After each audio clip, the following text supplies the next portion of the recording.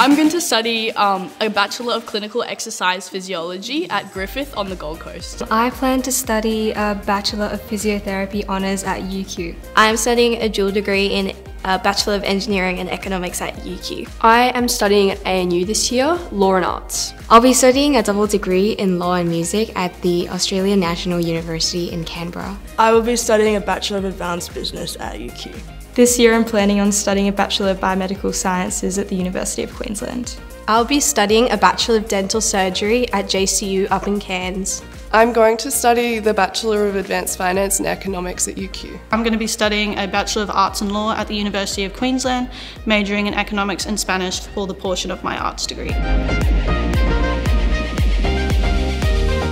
My approach to senior studies basically consisted of making sure I had eight hours sleep every night and making sure to keep my life as balanced as possible with food and friends and exercise do the tasks that you find most difficult first, and so everything after that seems much more easy and enjoyable. I made sure to keep my lifestyle balanced with seeing friends and playing sports, so not everything was about study. My approach to senior studies was trying to stay really organised so staying on top of my timetable and knowing when I was going to actually do my study. Was to keep a summary book as I went along and that really helped me keep accountable with my work as we were learning new content.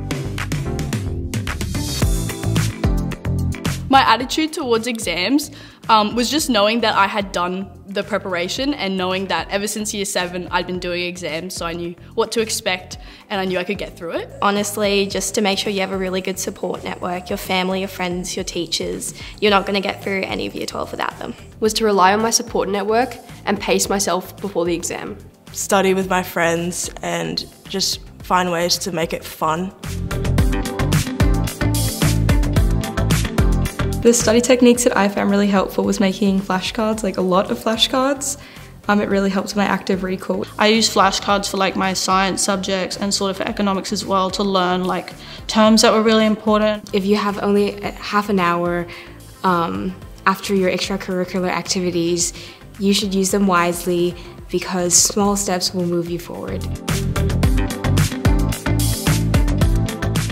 The most important thing that I'll be taking with me from St Aidan's is the skills that I learnt from my teachers in the regard of space design and ethics Olympiad in terms of thinking on my feet, learning how to be confident when speaking, and coming up with ideas on the spot. The lovely community of the school and also the knowledge that a good learning environment can help you really achieve your best. The memories that I've made with my friends, those friendships and also the teachers. The spirit of women empowerment I think it's really important to support each other and really help each other out when we're at like difficult times or when we just need a, an extra boost of motivation. From my experience at the school that women can really do anything that they set their minds to.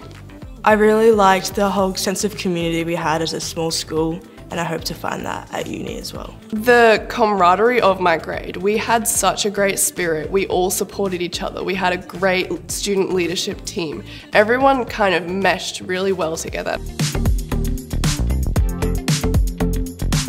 An achievement in my schooling that I'm most proud of is definitely being able to share the success of the team at QG Athletics with my cohort. It was a very special moment for us all. How I developed discipline and my study habits in year 12 because I did not really have those before. That I achieved more than I expected to achieve. I'm proud that year 11 me would have been like so happy that I actually got through it. I was so proud to be house captain. It was such a good role and I had so much fun doing it. I'm proud to receive um, the Ampol's Best All-Rounder Year Award for Year 12. Getting my gold Duke of Edinburgh in Year 12 and I think that really helped me keep accountable with all my extracurricular activities which helped me balance my social and academic life. Getting into the first eight and maintaining my senior studies while also being able to row and be in things like the Ethics Olympiad. My biggest supporters in my academic studies were my friends and my family and I think that they really helped me to keep on track with all my studies and encouraged me whenever I was having a bad day. All of my friends and my classmates supported me through my academic studies. My biggest supporters would ha definitely have to be my family.